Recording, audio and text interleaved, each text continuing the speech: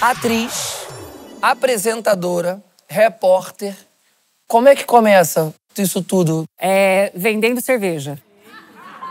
Sério? Lá em, em- como eu falei, eu sou de Ribeirão Preto, aí tem dois times de futebol. Os dois não vão muito bem, mas tem dois. Ah, tem dois lá. É o comercial Sim. e o Botafogo, que é o Botinha de Ribeirão Preto. Botinha de Ribeirão. E quando eu era criança, o meu pai era eletricista. Ah. Ele fazia a iluminação, enfim, a parte de eletricidade do campo.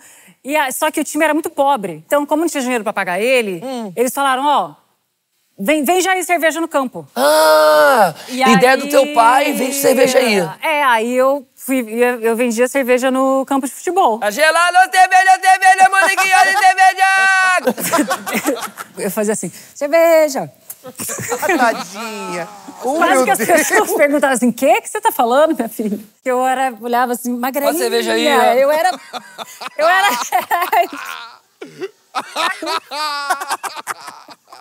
Era assim...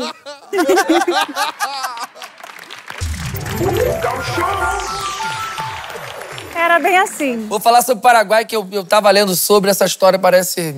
É surreal. Ah, minha família foi fazer aquela viagem para conhecer Foz do Iguaçu, ir lá no Paraguai comprar as coisinhas falsificadas e tal. Isso. Aí, estamos lá no Paraguai, tinha sete meses. Aquelas galerias de coisa Coisa falsificada, falsificada, um monte de box e tal. Aí, viu, uma senhora me viu no colo da minha avó e falou assim, ai, que, que bonitinha, posso pegar? Ai, que medo. Aí, a minha avó tava conversando com ela, deixou ela me pegar. Nisso, foi uma questão de segundos. Aí, a, a minha mãe, que estava com a minha irmã menor aqui, maior que eu, mas enfim, pequena, é, falou, mãe, cadê a Mônica? Aí, a minha avó falou, tá aqui. No que virou no... Para, Mônica. Bomba ninja, sumiu a criança. Para, Mônica. Sumiu, a mulher sumiu comigo, desapareceu comigo. Aí nisso minha mãe já desmaiou, meu pai já veio de não sei da onde, já começa a gritar, não sei o quê, aí já chama a polícia. E aí o meu pai, ele viu que só tinha uma saída no lugar. E ele tava olhando para lá, então ninguém saiu comigo, ele falou: "Ela tá aqui dentro". Aí enquanto chamava a polícia, ele começou por, por conta própria a pular os balcões de cada box e olhar no depósito. Passou um tempinho bom. E aí, sei lá, na quinta loja, ele me achou.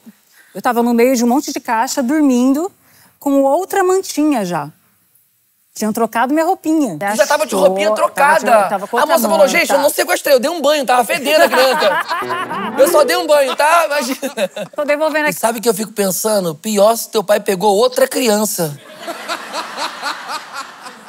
que é a filha do dono do negócio, nem era você.